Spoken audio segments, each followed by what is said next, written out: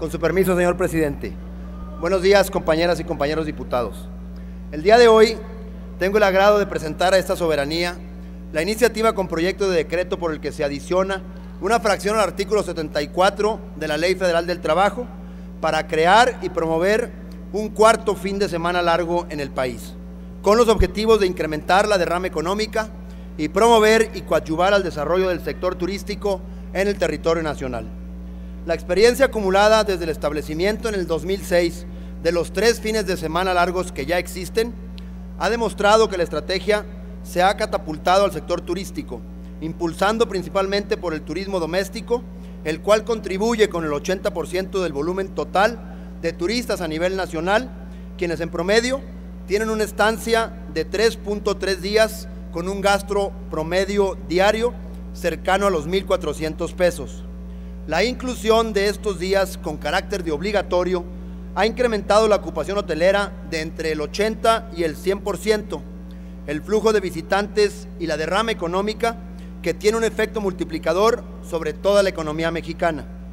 Las estadísticas presentadas por la Secretaría de Turismo y por, y por la Confederación Nacional Turística de México son por demás alentadoras, las cuales indican que un fin de semana largo puede generar 250 millones de dólares, por lo que su ampliación implicaría una derrama de mil millones de dólares anuales, contando con un cuarto fin de semana largo en el país, con el siguiente efecto multiplicador en otros sectores y sobre todo en el nivel de empleo. Son muchos los destinos que se benefician por la implementación de los fines de semana largos. La gran mayoría reciben visitas vía terrestre. Por mencionar solo algunos ejemplos, diríamos que la Riviera Maya recibe visitantes de Tabasco, de Campeche y Yucatán. Los pueblos mágicos del centro del país, que son varios, como Huasca de Ocampo, Zacatlán o Tepoztlán en Puebla,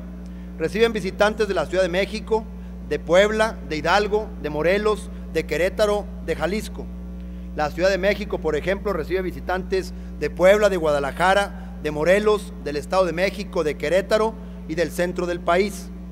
Acapulco recibe visitantes en un fin de semana largo, principalmente de la Ciudad de México, de Morelos y de otros lugares cercanos a este importante puerto turístico. Puerto Peñasco, por ejemplo, recibe visitantes de Chihuahua, de Hermosillo o de Baja California. Lo mismo pasa con Ensenada. Puerto Vallarta y la Riviera Nayarita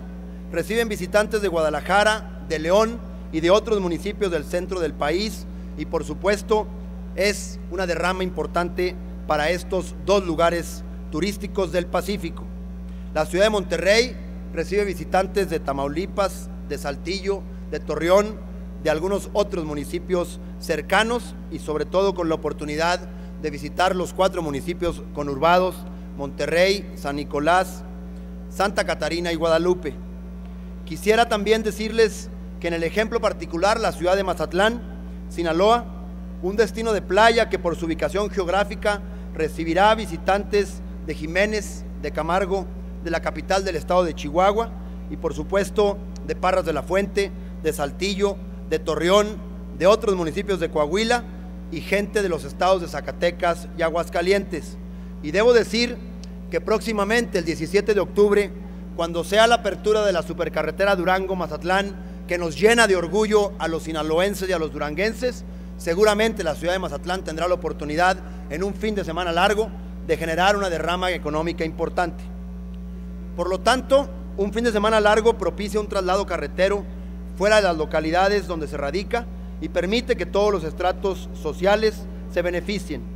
dado que su implementación incide sobre el consumo y disfrute de servicios como son restaurantes, cafeterías, balnearios, ferias, museos, exposiciones y entretenimiento en general.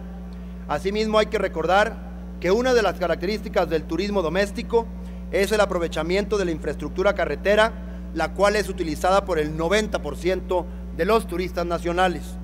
Aunado a lo antes mencionado, con la implementación de los fines de semana largos, también se ha logrado disminuir el ausentismo laboral, generado por faltas ocasionadas por la extensión de la celebración de conmemoraciones oficiales, ya que los trabajadores prefieren una disminución en sus percepciones económicas a sacrificar la oportunidad de contar con un día más, un día adicional de convivencia familiar o de esparcimiento.